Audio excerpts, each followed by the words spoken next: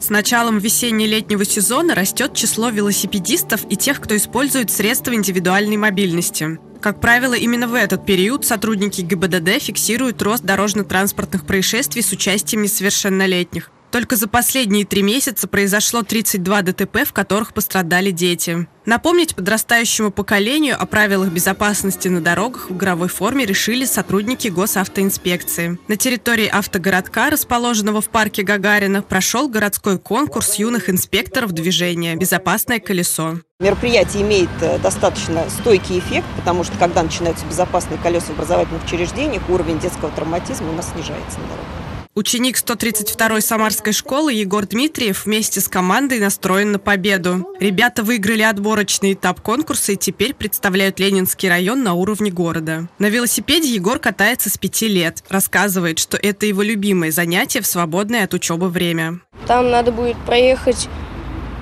э, препятствия и пройти медицину и сдать ПДД. Конкурс проводился в несколько этапов. Проверка знаний правил дорожного движения, оказание первой медицинской помощи при ДТП. После этого участники продемонстрировали навыки фигурного управления велосипедом через полосу препятствий. Программу завершил творческий конкурс. Это ежегодное мероприятие. В этот год с каждым годом количество участниц команд увеличивается, что очень отрадно.